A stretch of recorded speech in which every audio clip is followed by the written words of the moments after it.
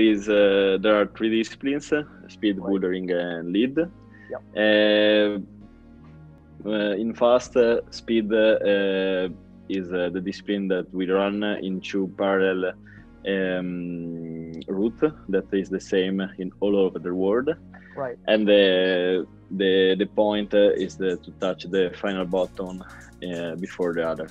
Mm.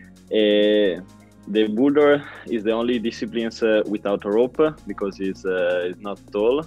Right. It's only four meter, and you fall uh, on a mattress.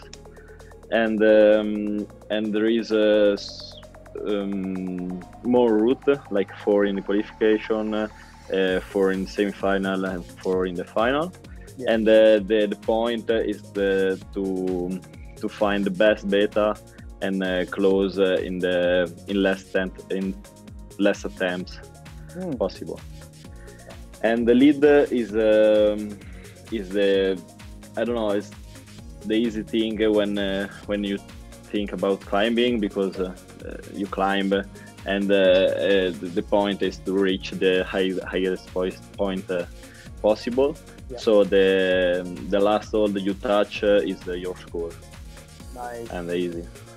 And you. The, and the you- funny Yeah.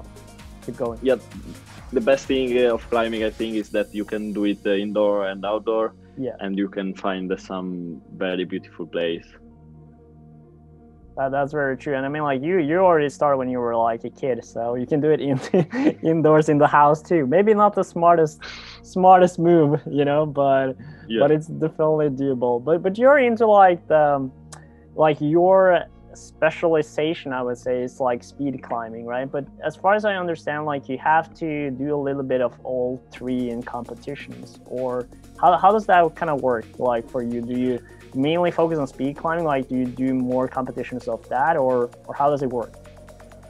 Uh, before before the olympics I, I usually do speed climbing and just bouldering and lead for fun. Sure. but now with the combine uh, in the olympics because uh, they, they give us only one medal so the IFSC, the IFSC uh, found this uh, combined formula uh, where you have to do all three disciplines Yeah. and now the the difficulties uh, for me is doing uh, lead and bouldering and like for others it's doing speed and bouldering uh, just because uh, until until the, the Olympics uh, we only focus on uh, one discipline.